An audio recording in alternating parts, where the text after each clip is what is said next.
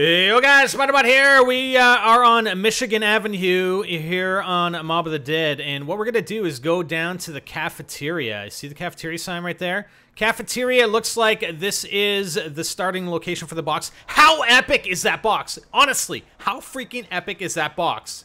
Oh my god, seriously. Now, and there's the acid trap. The acid trap is in the cafeteria as well. And I'm just looking around. Yeah, it comes out of the shower heads so we can bathe the zombies in acid. Can't wait to use that. We haven't used it yet, but that freaking box is so damn epic, unbelievable. Now I'm I'm going to get a weapon out of the box. I'm just kind of looking around again. We're just trying to find our way around this this map. It's insane. It's going to take a while to get used to. Uh, we do have another workbench over here, and I believe that uh, that is for the acid the uh, acid kit uh, because we have found the other workbench for the zombie shield.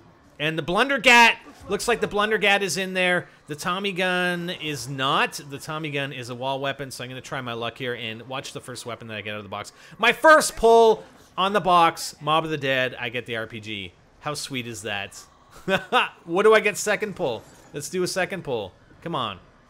Come on, give me something epic. Give me the Blundergat. Nope. I get the FAL. Seriously? Come on, I want some new weapons here, guys. Anyways, uh, again, down from the infirmary in the cafeteria and just outside of Michigan Ave is the first starting box location, the workbench, and the acid trap. Later, guys!